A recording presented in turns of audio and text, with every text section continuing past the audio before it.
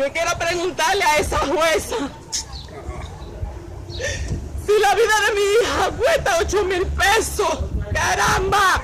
Ese hombre me secuestró a mí. Señores, eh, bueno, esa es la voz de una madre desesperada. Yo creo que a mucha gente le, conmovió. En la República Dominicana la escuchamos.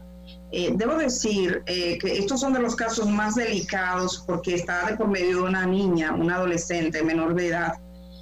Y, bueno, al principio casi todos los medios divulgaron la imagen de la madre así, de frente, ella, y también salió el video de la niña que ha circulado. Eh, este es un caso que quisiera explicárselo. Esa señora trabaja en el sector turístico, según lo que ella me comenta, trabaja en el sector turístico en Bávaro. Ella es de la Romana y tiene esta niña. Eh, la señora estaba embarazada. Esta niña de 13 años, eh, casi 14, estudiando, empieza una relación de, de noviazgo con un tipo de 21 años eh, la madre se entera y le pregunta, oye, mija, ¿qué pasa? Eh, ¿Cómo es? Que ella quería saber. Y bueno, parece que hay en cierto modo un visto bueno de que, de que hay una relación, pero que es una cosa de muchachos o no, no sé realmente en ese tipo de detalles, no entré mucho. El caso es que en el mes de, el año pasado, terminando el año, la, la, niña, la adolescente, llama a su mamá y le dice que está embarazada. Y ella incluso sufre como una conmoción y a raíz de eso le adelantan el parto. Ella perdió el conocimiento al momento, le adelantan el parto. Y entonces todo ese proceso, lo que son conversaciones entre la familia, de que van a tener a esa criatura, de que él se haga responsable, pero la niña tiene una diferencia de edad que obviamente si ese caso se hubiese judicializado, no, no podía, no iba más. O sea, no, no, no se puede. Si tiene 21 años, ella tiene 13, eso nuestra legislación lo califica como agresión sexual. Yo entiendo que hay muchas familias que los embarazos en adolescentes simplemente dicen, bueno, que se haga responsable, que la muchachita que fue una seducción, que no fue una violación, siempre está de por medio ese debate. Pero según nuestra legislación, aún la chica consciente o el chico consciente, si es menor, la diferencia es tan notable, olvídese que eso es delictuoso y él iría preso. Eso se ha dado todo ese proceso durante varias semanas y esta semana pasada eh, dice la madre que ella no le había permitido a su hija salir en ningún momento de la casa, la muchachita está ahí y que la niña estaba en un momento determinado en la casa y que vio por el balcón pasar al sujeto, que es el, papá de ese embarazo que ella tiene, ya de cinco meses, y le dice, baja a buscar un dinero. La niña baja sin, descalza, baja descalza, y le dice, no, no, ven, que vamos a buscar el dinero allí. O sea, la lleva con engaños. Ella se sube y dice, pero yo quiero decir a mi mami, no, no, no, ven, vamos pronto. Se la lleva y la amarra en un lugar solitario que es eh, el área de la piscina de la Villa Olímpica. A mí me han dado imágenes del lugar donde fue amarrada, imágenes de la soga, imágenes de las fundas y con que la cubrió, imágenes de la niña, testimonio de la niña. O sea, tengo suficientes elementos que no voy a usar porque serían violatorios, perjudican aún más a la niña. De hecho, cuando la madre salió dando su testimonio así, que la, la jovencita lo vio en televisión, en un descuido de ella, eh, o digamos, no en un descuido, sino que no se dio cuenta y ella tiene acceso a la televisión y se vio, pues eh, fue necesario llevarla al hospital. Hay de por medio, en este caso, dos intentos de, de suicidio y una situación muy caótica. Y el caso es que fueron a la justicia y la jueza determinó que ese joven de 21 años, que es Rayson Antonio Castillo, eh, fuera, eh, tuviese una medida de coerción consistente en presentación periódica cada, seis, eh, cada cierto tiempo durante seis meses y el pago de 8 mil pesos de fianza. 8 mil. Por eso es que la mamá dice, yo le pregunto a esa jueza si la vida de mi hija vale 8 mil pesos. A todo esto, según la señora, hay acoso por parte que se mantiene, han tenido que trasladarse de la casa. A mí me sorprende un poco este caso porque es inusual.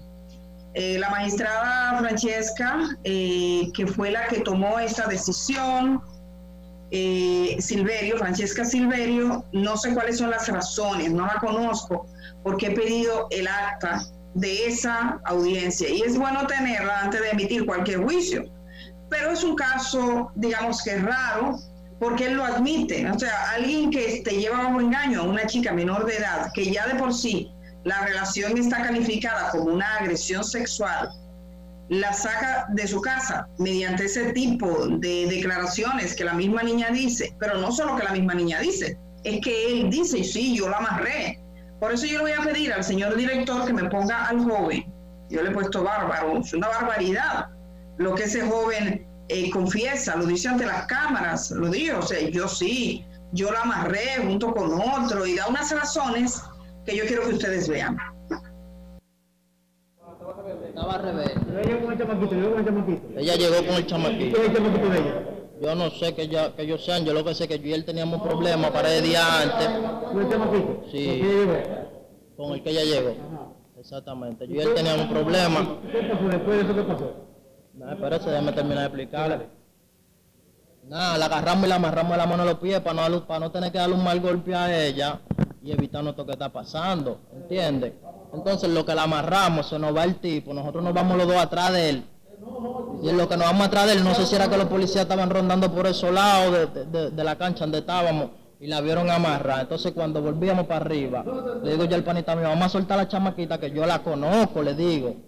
Entonces me dice él que no, no vamos a soltar nada de ese tipo ahí. Yo me voy para mi casa, yo lo que hice fue que entré y cuando entré que le iba a soltar, y me agarraron los policías acusándome de un supuesto secuestro.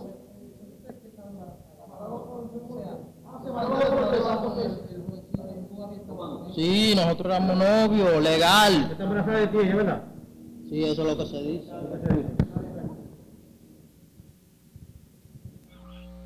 Bueno, ahí estaban ustedes, escucharon las declaraciones que dio Rayson Antonio Castillo. Él tiene 21 años de edad, eh, es una persona ya responsable de, de, lo que hace. Entonces él dice, yo la amarré, la amarré de manos y pies. Y entonces le dice a la, a la, niña, voy a ir a buscar gasolina para prenderte fuego. Le pone una funda en, la, en el cuerpo, una funda negra, le tira una lona, una colcha encima. La, la niña con los pies logra romper una botella y al final sale y se nota amarrada. Está acompañada de policías y, alguien que era que iban pasando, unos jóvenes graban un video donde está la, la, la, chiquita muy angustiada, llorosa, amarrada, todavía en las descalza, como dice la madre que salió, amarrada en sus, en sus brazos, todavía con heridas. Tiene lesiones en los pies eh, de la, de, que la amarraron y él lo hace junto con otro. Entonces la, la sanción que recibe es una sanción consistente en presentación periódica y 8 mil pesos. La madre dice que le ofrecía incluso 2 millones de pesos. Yo no sé si es verdad, si es un extremo cierto. Eso tienen que investigarlo las autoridades, pero quiero llamar la atención del Ministerio Público. Yo sé que el Ministerio Público de la Romana abogó por la prisión y que en este momento el Ministerio de la Mujer le va a dar asistencia. Es una familia que, según lo que me ha dicho la madre, no tuvo esa niña ni siquiera asistencia psicológica, está embarazada tengo entendido también, por lo que dice la familia de la niña, que están siendo amenazados, o sea, que eviten una tragedia, eviten una desgracia en este caso. Ya hay una tragedia, ya esa niña ha quedado expuesta públicamente, su imagen recorre las redes, eh, la cara de su mamá descubierto, ella se sintió muy impactada cuando vio eso.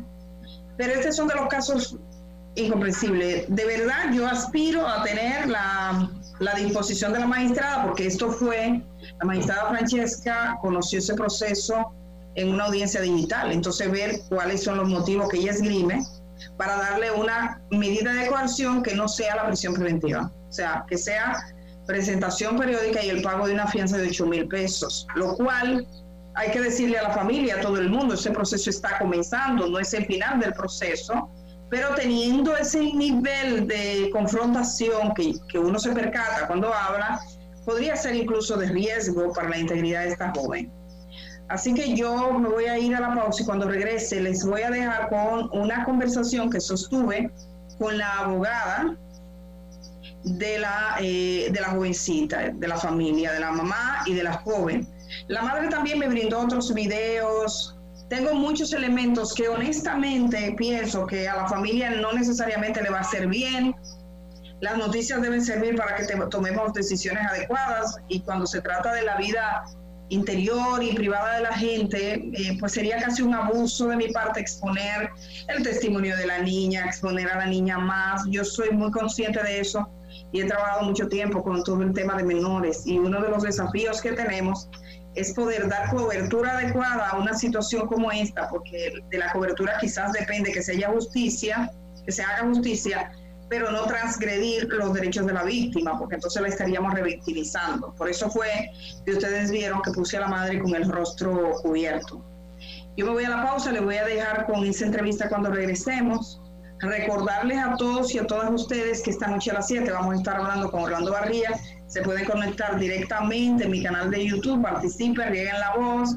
Todo lo que ustedes quieran preguntarle a un reportero de verdad que incluso entró a un área de cuidados intensivos, el área de Secanón, no todo el mundo tiene la oportunidad de verlo, lo, lo cubrieron, él ha hablado mucho de las medidas de seguridad que se adoptaron, pero además que ha estado en movimiento en los principales escenarios de esta pandemia en la República Dominicana y que ha sido una voz fuera de nuestro país de lo que ocurre aquí. O sea, es una voz muy importante porque él representa una agencia internacional. Esta noche a las 7 estaré conversando con él en vivo y mostrándoles, por supuesto, algunas de las imágenes que ha caracterizado esta pandemia. Uno de los problemas de esta pandemia es que eh, los medios no pueden estar en el escenario sin tomar medidas extraordinarias. Eso dificulta que vayamos a los hospitales, que veamos cómo está la gente. En la medida de lo posible, todo el que hace eso, mi reconocimiento, y en el caso especial de Orlando, por supuesto, esa es la, la característica fundamental que se ha mantenido muy activo. Me voy a la pausa entonces, pásenla bien y cuando regresemos vamos a estar con esa abogada. Grabé la entrevista con ella, pero lo vamos a difundir ahora.